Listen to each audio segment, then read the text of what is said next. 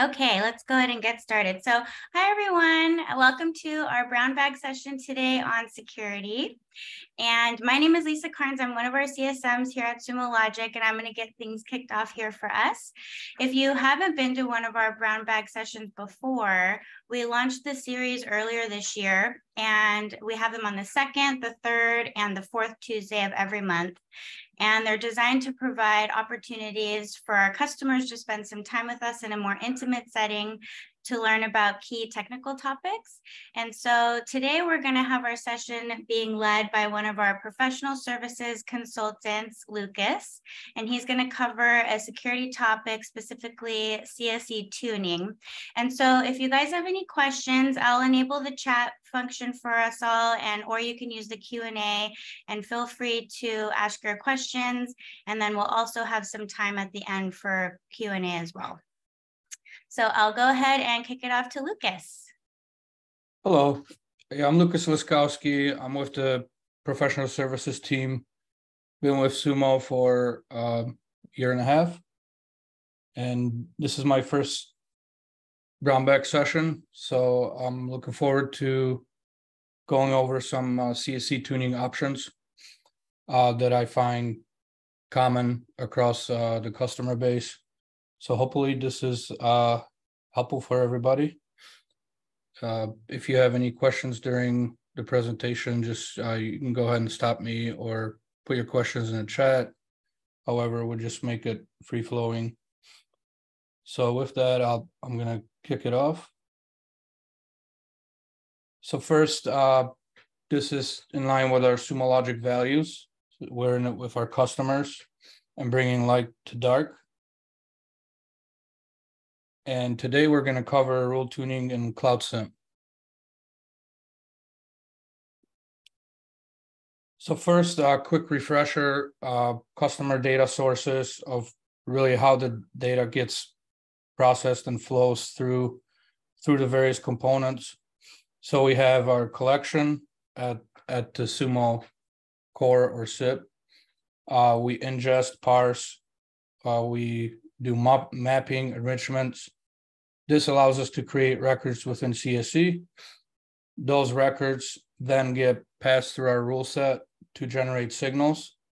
And once signals, uh, enough signals are generated for an entity, uh, we create insights and hopefully these insights are actionable security investigations. So this is the goal of tuning, obviously, to reduce the noise and have actionable insights in place. Another view of the signal generation flow. So when records are created, they get uh, passed through our, our rules, and rules or signals generate entities, which are IPs, host names, MAC address, uh, usernames and those entities then get scored on the activity uh, through signals. So how are rules evaluated? Another refresher. So uh, rules are compared against incoming fields and records to determine if there is a match in a rule expression. And match will create a signal connected to a specific entity and criticality score will be added. So if a signal is severity two, um, username fails to log in, that severity two gets score gets added to that that user ID. When any one entity receives a combined score of over 12 during 14 days, which is a default setting, an insight will be created. The insight uh, will contain signals that contributed to insights, records for each signal, and any enrichments for example, uh, server inventory source. And then the uh, kind of main focus of the SIEM which are entities, and those are central to CSE, uh, used to correlate signals and create insights.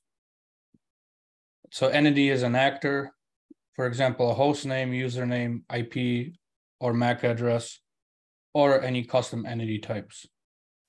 An entity is created when signals generated. So if a signal has multiple entities defined uh, within a rule, it will create multiple signals for for one record for one activity. And then we'll uh, go over in a little bit more detail about entity groups a little later. But besides grouping of entities, uh, entity group can automate the process of setting entity attributes. So CSE tuning, um, several options here. We can modify rules without rewriting from scratch.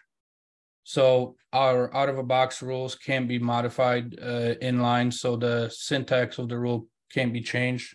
So that's when tuning expressions come in, where you can add on to include or exclude specific uh, match items. We can apply multiple tuning expressions to multiple rules and we can keep the benefits of CSE automatic security updates. So um, when we create a uh, tuning expression that preserves the original rule, so if there are any updates to the rule, um, that it, it, will get applied without uh, having to to redo the rule from scratch. So this is uh, a slide that kind of summarizes what I'm going to go over today, which are different tuning options. So we have our standard match list. We have tagging, which is a newer method. It's similar to match list, uh, but it we create a custom tag and we can assign tags automatically via naming convention or an inventory source, or we can assign manually via an entity menu. We also have custom match lists. So uh, we can create custom columns and custom match lists that match our use case. Uh, suppress lists are used for global suppression of all signals that uh, contain the specific entity uh, in a record. Then we'll go over some rule tuning expressions and examples. So it's same syntax as rules applied to specific rule or to all rules. Then we have network blocks. Um, that's how you can enumerate your network. Uh, specifically, you can mark certain uh, network ranges internal, which uh, many of our rules have built-in uh, flag to exclude internal uh, alerts, for example. Then we can duplicate or modify out of a box rule. So again, uh, since the query can be modified, we can make a copy of that rule and modify it inline if we don't want to apply too many tuning expression to the rule. Uh, another way is to change a signal severity. For example, you can change severity to zero to maintain all the statistics, the auto suppression of signals, and inclusion into insights. But once a rule is turned into zero, it actually won't trigger an insight, but it will be part of the context information within an insight. We can also mark it as prototype. So also rule won't generate um, an insight. Uh, and also the suppression and all of the statistics uh, won't work the same as with changing it to zero.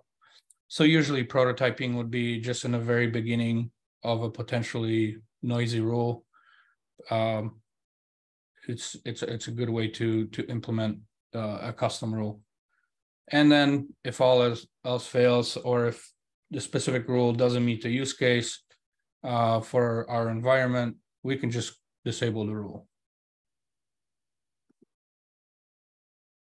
So tuning via match list.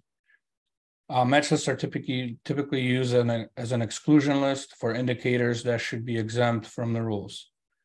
So we have 40 plus standard match lists uh, predefined by Sumo Logic. And what I mean predefined, uh, you will see within your uh, rule set, the out of a box rules all uh, often have a, a, clause to array matches um, specific match for a specific match list. Sometimes in your environment, you won't see all of those lists, but uh, the documentation uh, describes all the standard match lists that should be added and populated. This is probably the best, quickest, uh, most efficient way to begin tuning uh, large amounts of noise. So here, uh, I'm going to look at a walkthrough on creating and updating a match list. We're going to quickly walk through on how to create a match list. Under content, match lists, you can see all of the match lists in your environment that are available to be updated. If you don't see a match list uh, that's quoted in within the out of box rules, uh, you can go ahead and create it as long as you follow the same name as you see in the rule. So in our case, uh, we need to update match list call or create match list called domain controllers.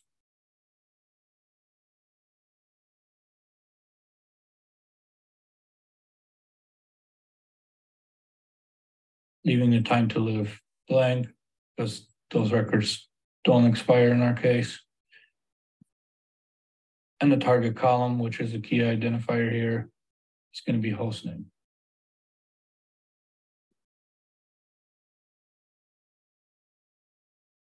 So now that we have our domain controllers match list, we can be, begin utilizing it. So first, we want to populate it with known domain controllers. In my, my case, I have uh, created a lab host, which I'm going to add to that list to then start taking advantage of built-in detections. Couple ways of uh, adding an item to a match list.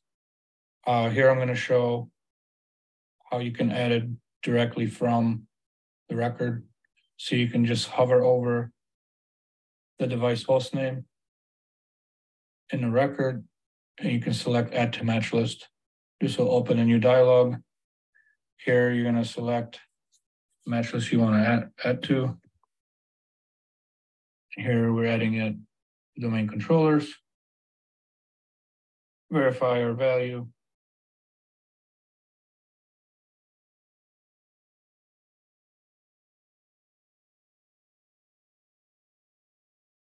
no expiration. And go ahead, hit refresh. And we can now see the device on our list. Next step would be to see this in action. So we can then go and look at our records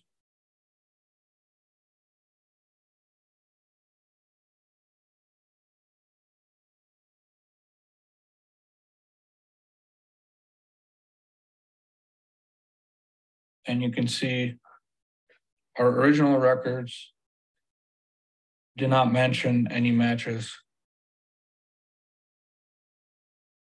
to any of the match lists. So we can go ahead and refresh and search for the specific host name. Vice host name is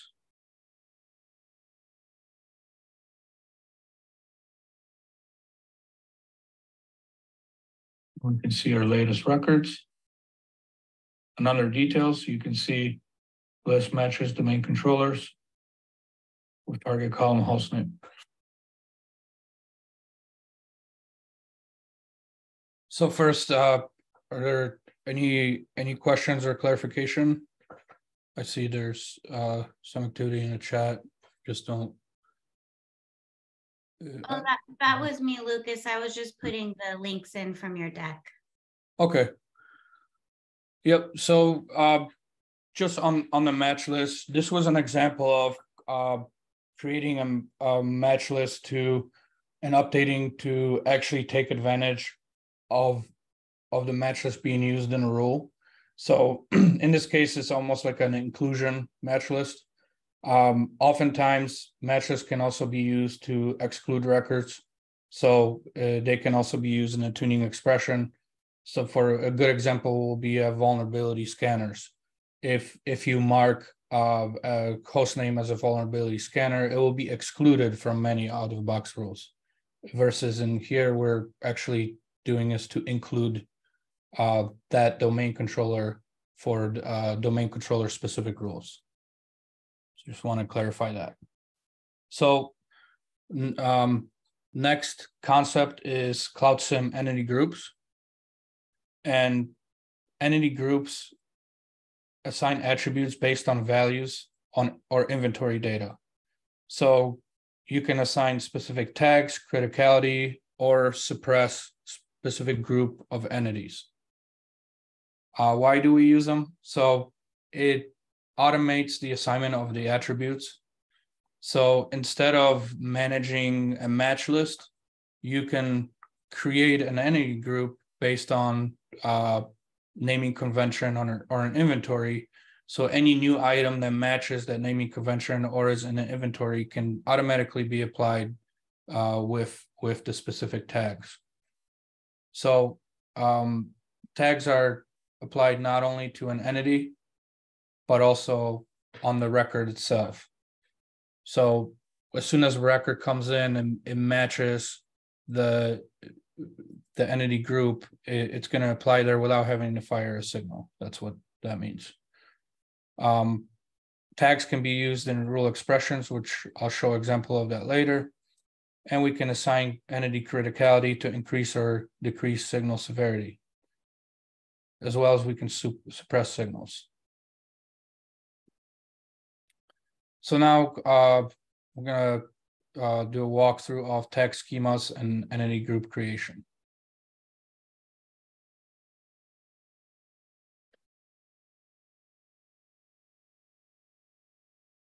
First, we're going to create a custom tag schema. This can be done under settings, workflow, and tag schemas. Here you can see built-in tag schemas such as device type or device group. You can recognize them because they have the underscore before the name. Custom ones are often useful where uh, the default tag schemas don't match your use case. So in this case, we want to divide up certain users based on the naming convention to different user groups or user types. So first, I'm going to create user type, tag, tag schema key. Uh, we're going to apply the content just to entity. We're going to select allow custom values. And then here we're gonna select our value options. So first we can do administrators.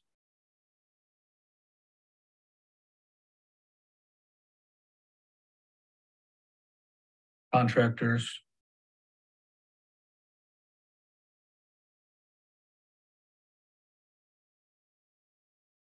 Uh, we could do testers.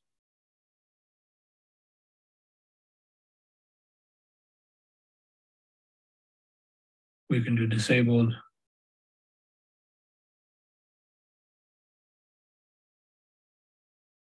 And then a watch list for any users that we want to monitor additionally. Overview, everything looks good. Hit submit.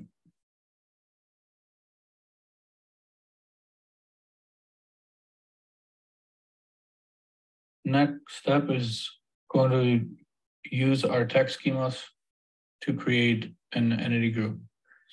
So in here, we'll go to settings, entities, and groups.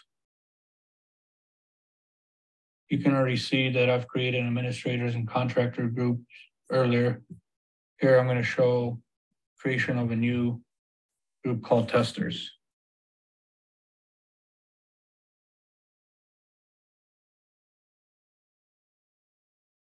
And we're going to match this on based on values.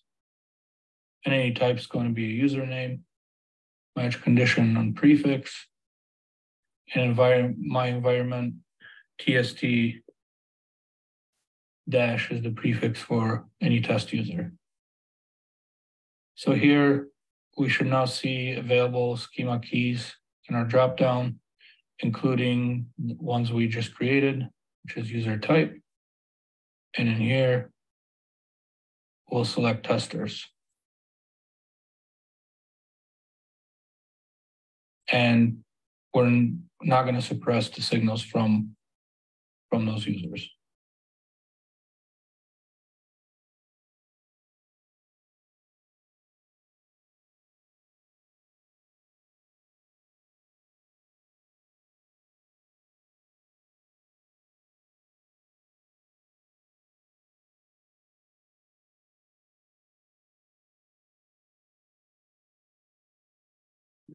So next step is, um, we're gonna look at examples of how this is all brought together. Uh, so how the match list, uh, original match list creation uh, generated some signals. And then how, how do we use entity grouping to exclude some of the signals from specific rules?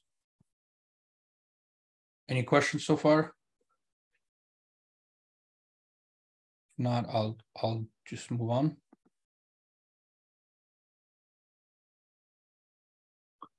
Now that we have identified a domain controller in our environment, we can see this applied to our out of box rules.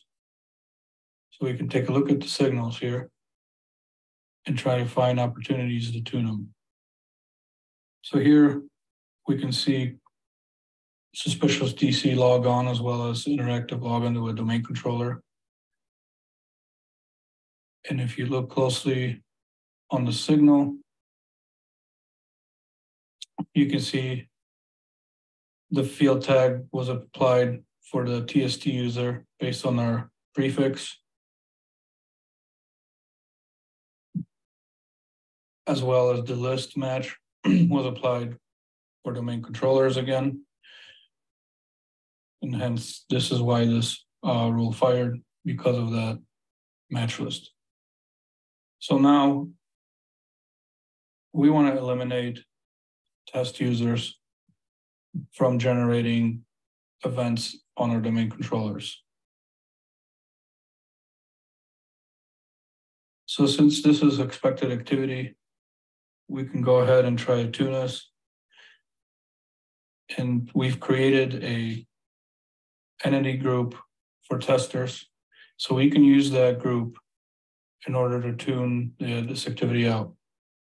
So here we can go to the actual rule that generated this. We can add a tuning expression, create a new tuning expression. We're going to name this exclusion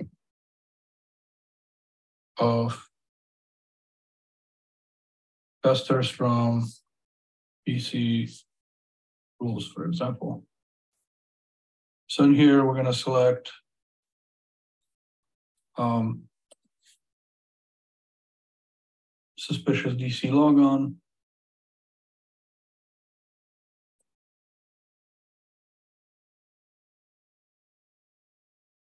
We can look for domain brute force attempt, for example. We're going to go ahead and exclude records that match the expression. So here, this is where the expression syntax comes in, and this this is identical to a syntax written in in the actual rule. So in our case, we're trying to get rid of uh, testers. So in here, what we have to do is create a match. And in this case, it's gonna contain field tags to look for um, the schema tags, user username is our entity, and then our actual uh, entity group is user type testers. I'm going to look over the signals again. To look at the different roles that were part of this host in these DC login events. So I also see interactive login to domain controller. I'm going to add that.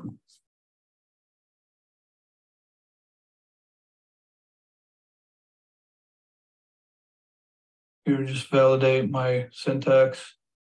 Uh, oftentimes when you paste this from like a notepad, um, you have to fix the quotes.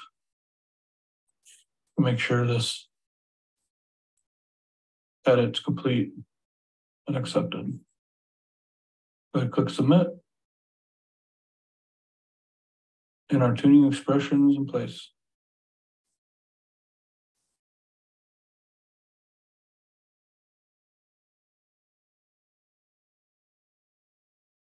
So now that we've created our tuning expression, it's time to test it. So normally what I do is I would go back to signals, look for the noisy rule that I was previously targeting for tuning. So in this case, we can do a suspicious DC logon. This shows the actual record and signal generated um, in here, by clicking on the actual rule, I can see now that tuning expression has been applied. So I'm going to go ahead and test the rule expression. I'm going to expand my search time to last three hours. Normally, I wouldn't expect any events to be here. But as you can see, I did get a hit on one event, user username, TST, um, and field tags are testers. So I was actually expecting this to be excluded. So now I want to make sure that my tuning expression works correctly. So I'm going to go ahead and open this tuning expression. and I can see already see my mistake I made. I selected include instead of exclude. So this is a easy mistake that could definitely result in um, unexpected signals being suppressed or generation of too many signals. So I'm going to go ahead and submit this again.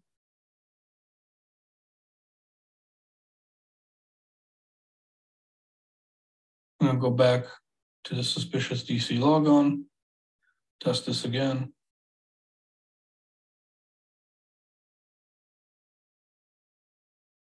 And now you can see for the last three hours, we have no records that match our expression. Means our tuning was applied correctly.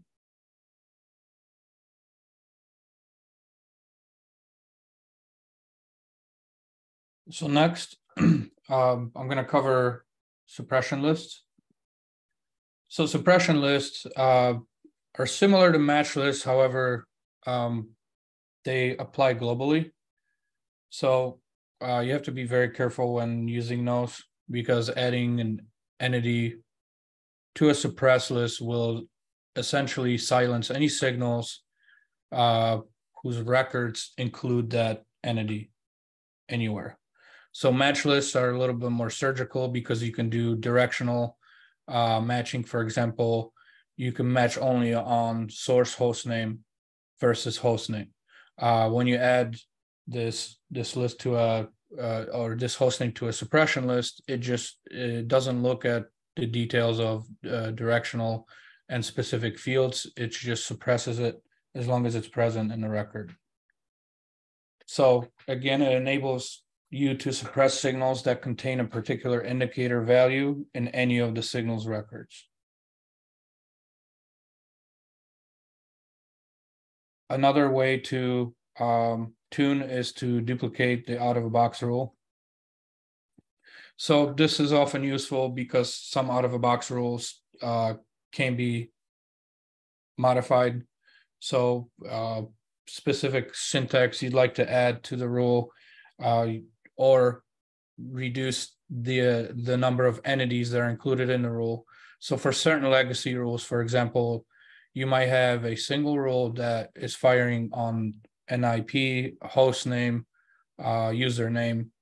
So each record that that contains those fields, it's going to essentially generate three signals. So for some uh, for some analysts, this is a little too noisy. The example will be like a brute force attempt, where you're, uh, you might want to focus just on the username, not necessarily on source, destination IP and host names. Uh, especially when it comes to like authentication servers where uh, it might trigger a signal each time somebody fails uh, fails to log in uh, passing through authentication server. So this is where you would separate that role, uh, essentially make a copy and modify the entities present in the role. So this is good to target specific uh, list of users, computers, or environments. And enables inline editing of the rule syntax instead of a tuning expression. Additional tuning options that I want to briefly cover would be change signal severity. So uh, I encourage you to download the latest CSE uh, application. Uh, within there, there's a new Insight Trainer. This this feature is uh, very useful in some uh, tuning suggestions and seeing how changing a signal severity would impact uh, generation of insights. Um, I touched on this uh, briefly earlier. Change uh, severity to zero this will enable you to preserve visibility. You'll still have those signals uh, under the, the entity activity score as well as under the insights. Then we can use entity criticality within entity groups to increase or uh, reduce sensitivity. Mark rules as prototype, so no signals will be generated and signals won't be listed under the insights related to the entity disable rule. If the rule doesn't produce an actionable insight and no tuning can fix it, get rid of it. And the network blocks. So uh, this is very useful if if you want to set, for example, uh, your internal networks by setting uh, that flag, you will eliminate uh, generation of of certain uh, detections that ignore internal networks. And here's just an example of the syntax. So um, I'll show this later on screen of, of what that looks like in, in, in the record. So here, um, I'll move to our Q&A, but before I do that, I just want to show example of um, example of how a network block is applied. So we can go under content network blocks. And I've added this slash 32 address and created a label called lab. not suppressing signals from it.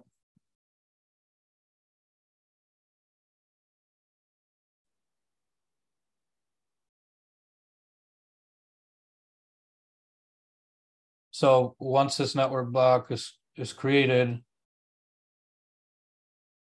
we can look in our signals.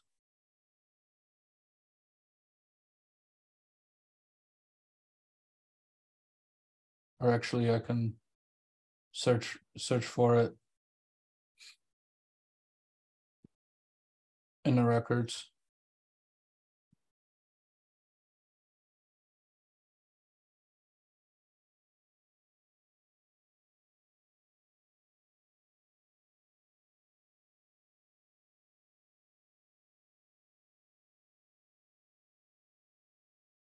So what I'm trying to do is see if, if the network block that I applied is, is actually, is actually working.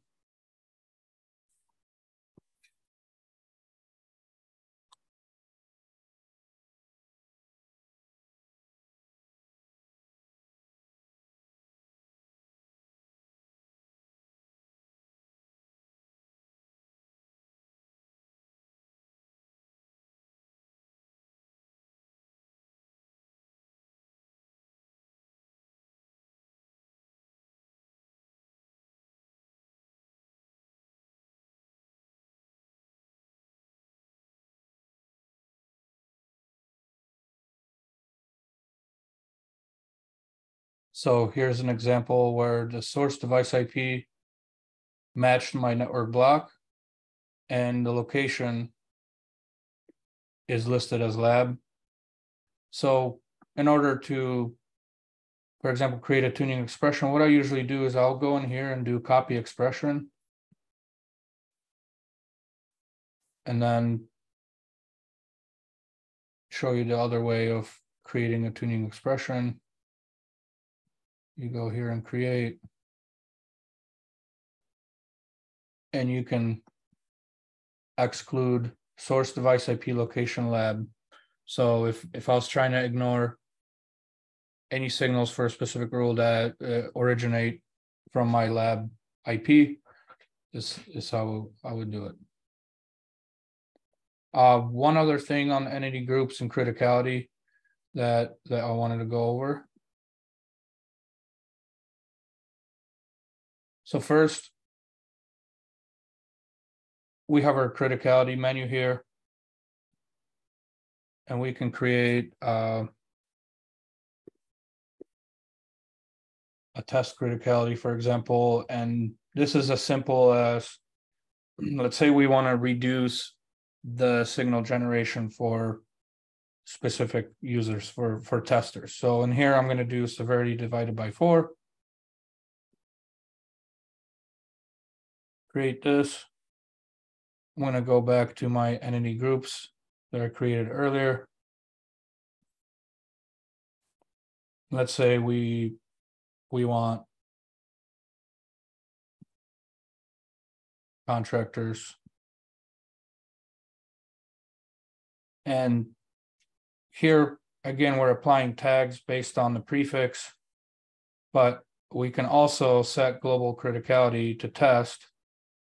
So anybody that's part of this, this group of contractors or testers or administrators, um, we can set this criticality to be uh, divided by four. This way it won't generate as many signals and insights.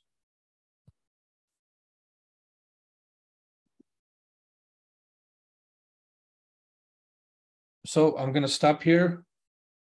Um, see if there are any questions. Any clarification?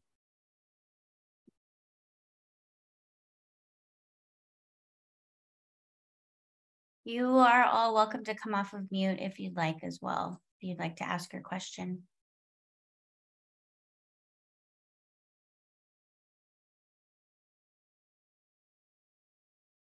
I guess no questions. Okay. Great.